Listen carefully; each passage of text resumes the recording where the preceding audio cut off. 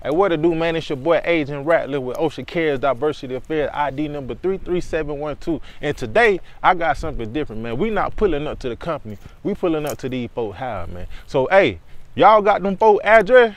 Let us know. We gonna pull up. Let's go. Let's do this thing. This is a real company, and we deal with real complaints. Oh, shit. And they door wide open. You see all through there see how he living.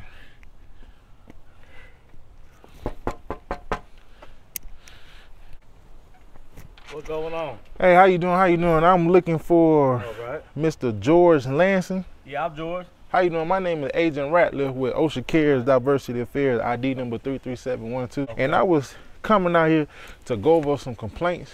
If you had a moment, if you want to step out for a moment, sir. Say who you are? I'm Agent Ratliff with OSHA Cares Diversity Affairs, ID number 33712. And I was just coming out here to go over some complaints that was filed on you on behalf of your work performance. You are, Complaint. yeah, you are the manager at C&D Supply Company, right? Yeah, that, that's where I work.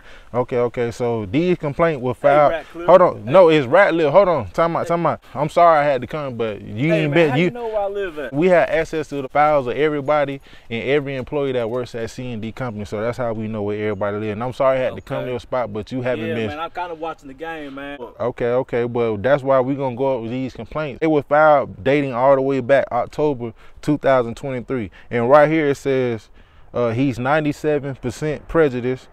They, What? they, yeah, they didn't say racist. They said prejudice, but to me personally, I think all of it is the same. It says never shows up to work. If he does, he's late. Here it says whenever he do show up, he like to micromanage people. Man, who, who, filed the complaint? the man? complaints are anonymous. I ain't done. Hold on. Wait. I Time out. Time out. Time out. Hold on. Let me finish. Please let me finish. In this rat lift, he catch an attitude whenever someone needs help. He got titties. He fired Daryl, and he came and Daryl came back and almost beat his ass. He be verbally abusing his wife. Look, So hey, what hey, you hey, hold on, hold on. Rat- What you Rat- got? Look, hold on, wait. Rat lift. And Look. what what's your side of the story? Because like I said, we try to remain man. unbiased in these situations before we make a determining factor Look, who I we want to let go. And I know what you're doing. Hold on, wait. Time out, time out. Because you in there cussing that lady out every day because you mad because you can't get ahead of life. That lady ain't got nothing to do with you failing. And I I, damn sure wish Daryl would have caught up with your Man, ass, man, with dirty here When I titties. get back. You just another prejudiced white man with dirty titties.